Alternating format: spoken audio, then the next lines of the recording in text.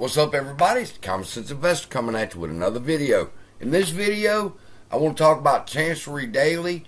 Sent me a message on Twitter. All right, and here it is. She says during her live stream, if you were there, if you didn't, you should go watch it. During her live stream, they it didn't save the comments, and I figured out how to fix that setting for next time. So next time she does a live, she'll be able to see your comments after it's over. All right. But this time it didn't save it. So what she's asking people to do is go to the video, which I've linked down below. All right. And if you were there and had a question and she didn't get a chance to answer it, she said, leave your questions there. And in her next live, she will address your questions. I think that's a wonderful idea.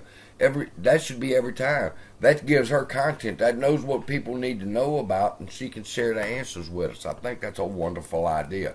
So go over to her channel, which is right now Chancery Daily. All right. We did good. She had like 50 something subscribers, and now she's at 136. So that's good. Subscribe, like the video after you look at it. And then if you had a question, you put it down here. Now, I told my Discord, and during our discussion in the Discord, Little Green Candle says that she has been holding AMC. Let me see if she, yeah, she said it. Twelve thousand share, twelve thousand dollars worth of AMC, and she still has her ape shares that she was given. All right. However, I received no postcard and my objections are not being included, which brings me to feel I am not being included in this case at all, and I will not be compensated at all. However, I, I since I've been in AMC since January 26, 2021, I feel I should be included. I am a shareholder. I didn't get my postcard as very confusing and makes me feel the court has no idea I even exist. Same for my sister and son. What do you suggest is the best course of action? Thank you, Sign, again for all that you do, are doing, and have done. Give her a thumbs up. Good job, little green candle. That needs to be addressed. All right. Now let me put my cigarette down a minute, and let me go over here to this uh, docket I'm going to put the Chancery link in the uh, video to her to her video if you had questions concerning what she had to say last night, and I'm going to put the link to the 740 page docket. Now I'm going to show you a trick. All right.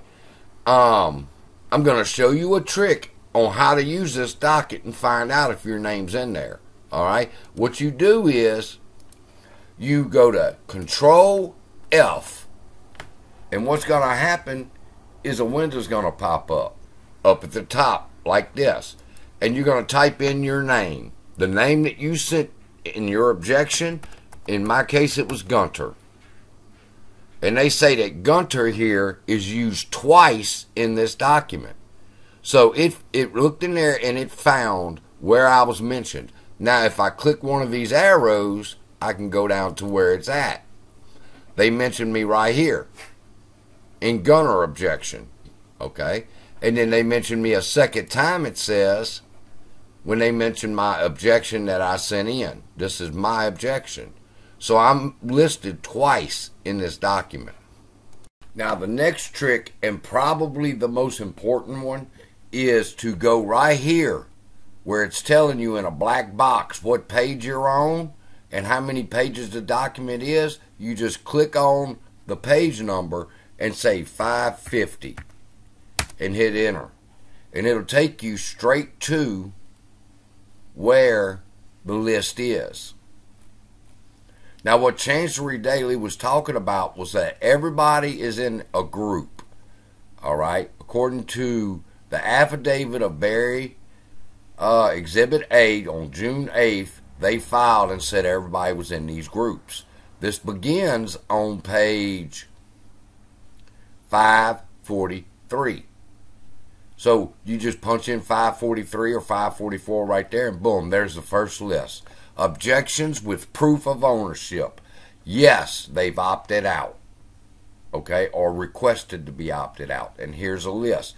If you requested to be opted out and you send in an objection and you send in proof of ownership, you are on this list starting on page 544. All right, and it goes on down. It's in alphabetical order in accordance to your first name. And you just go on down the list. And the next list is going to be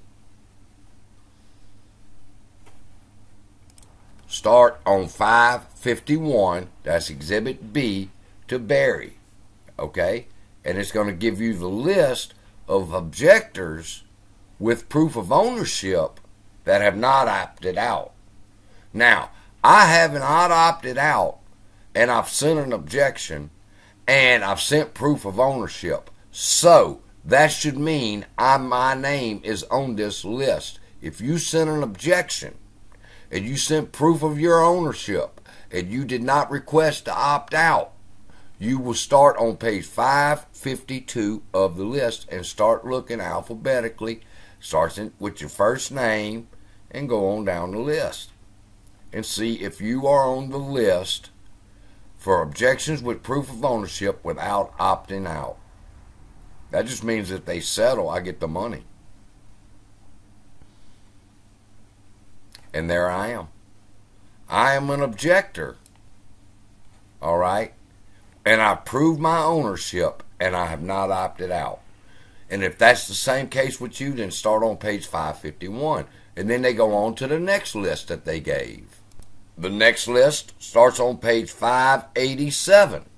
Okay? And that's going to be people who sent in statements of support for the settlement and you proved you had ownership. If you did that, then you would start on 587 to make sure your name is in the right category. All right. Statements of support with proof of ownership, page 587. Scroll down. It's in alphabetical order and according to your first name. And on and on it goes, people. She just wanted you to know this list existed and that you needed to know which list you were on. Now, I'm on the list of people who objected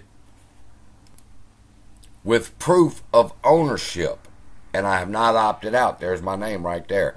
She was just saying that you needed to make sure what list you was on. And if you need to, go back, rewatch the video where I break down each list, and you can go straight to that page and start looking for your name. All right. So there you go, Chance. I did the video for you. I let everybody know your, your concerns. If you have any questions, go to her YouTube channel and leave a question in her comments, is what she wanted you to know for today. And with that, love y'all. Be blessed. Have a great day.